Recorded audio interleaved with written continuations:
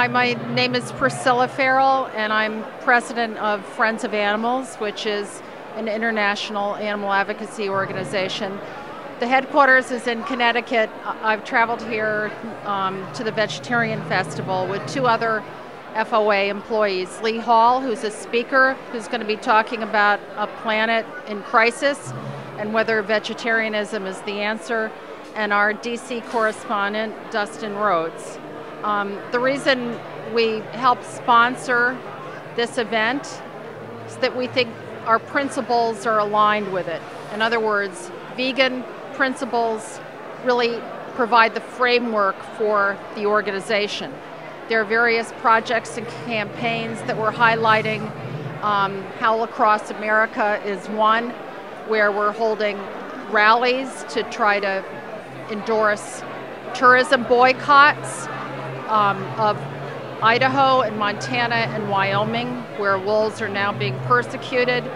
We have cookbooks here. I've authored two of them. They're vegan cookbooks, of course, and various T-shirts, hats, and and literature.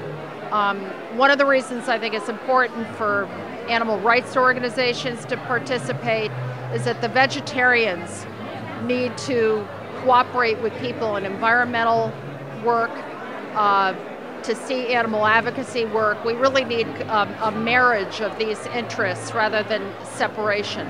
And I think that that's how you build a community and you help each other, whether you're rescuing feral cats together, you're trying to stop the killings of dogs and cats and pounds across America, or you're trying to, as we do, um, create restaurant guides for vegan eating in key cities across the country.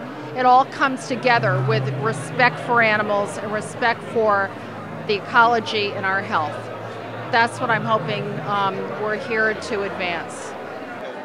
I'm a cook, and so my love and, and interest my whole life has been to unload the recipes I've gathered from great grandmothers and grandmothers and have spent my life um, now veganizing. And the first book was Dining with Friends, which Lee Hall helped co author with me.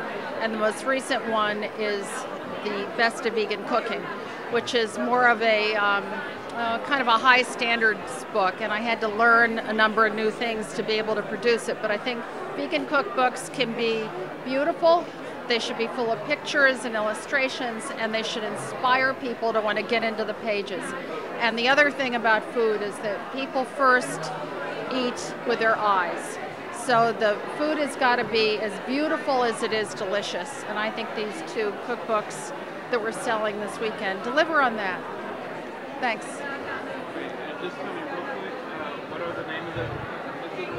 The first cookbook uh, from 2005 is Dining with Friends The Art of North American Vegan Cuisine. Um, and it's been reprinted. It has a new cover and a gluten free chapter. And the second one in 2009 is The Best of Vegan Cooking. I'm working on the third one now, which will be a book about menus and other things, but of course, vegan.